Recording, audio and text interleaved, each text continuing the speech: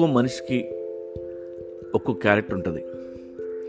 వాడికి కొన్ని అభిరుచులు బిహేవియర్ డ్రెస్సింగ్ స్టైలు మాట్లాడే విధానం రియాక్ట్ అయ్యే విధానం ఇలా అన్నీ కలిసి అతని క్యారెక్టర్ అవుతుంది.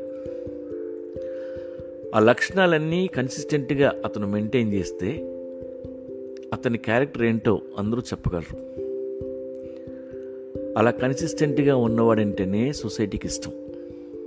ఎందుకంటే వాడిని ప్రిడిక్ట్ చేయడం చాలా ఈజీ. వాడు ఎప్పుడు ఎలా రియాక్ట్ అవుతాడో చెప్పచ్చు. అన్ప్రిడిక్టబుల్గా ఉంటే వాడి క్యారెక్టర్ లేదురా అంటారు. నాకు తెలిసి అయ్య గారు మీరు మాటిస్తే అంతే. ప్రాణమైనా వదులుకుంటారు కానీ మాట తప్పరు మహాప్రభో అంటాడు ఒకడు. అంటే నీ క్యారెక్టర్ని ఫిక్స్ చేసి అలాగే చేయమని నీకు గుర్తు చేస్తూ నిన్ను వీపీని చేసి నీతో ఆడుకుంటున్నాడు. ఇలాంటి మాటలు వింటూ వాళ్ళ కోసం అదే క్యారెక్టర్ మెయింటైన్ చేస్తూ బతికావో నిన్ను కబడ్డీ ఆడుకుంటారు.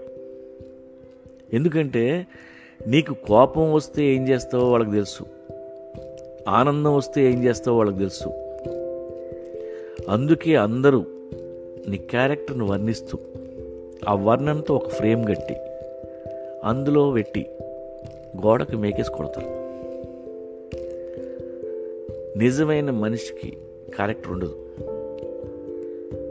ఎందుకంటే రోజు ఎన్నో చూస్తుంటాం నేర్చుకుంటూ ఉంటాం మారుతూ ఉంటాం.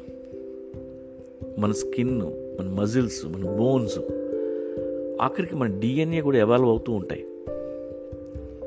మనతో పాటు మన క్యారెక్టర్ కూడా ఎవాల్వ్ అవుతూ ఉంటుంది. అలా క్యారెక్టర్ ఎవాల్వ్ అవుతుంటేనే మనం లైఫ్లో నేర్చుకోగలుగుతాం. లైఫ్ని ఇంకా బాగా ఎంజాయ్ చేయగలం. ప్రిడిక్టబుల్గా అస్సలు ఉండొద్దు. అన్ప్రిడిక్టబుల్గా ఉండండి. నాకు ఏదన్నా జరిగితే నువ్వు అని చంపేస్తావు బావా. నాకు తెలుసు నీ గురించి. అని ఎవడైనా అంటే నేను చంపను. నేను ఇంతకు ముందులా లేను. రోజు రోజుకి నా క్యారెక్టర్ మారిపోతుంది ఏం చేయబోతున్నానో నాకే తెలియడం లేదు అని చెప్పండి. అలా చెప్తే నోరు మూస్తాడు వాడు. లేదంటే నిన్ను ఊరకొక్కని చేసి ఉసుకో అంటాడు. రాముడు అనే అద్భుతమైన క్యారెక్టర్ని తయారు చేసింది సొసైటీ. అందరినీ అందులో పెట్టడానికి ట్రై చేస్తుంటుంది సమాజం. నువ్వు రాముడివి అంటారు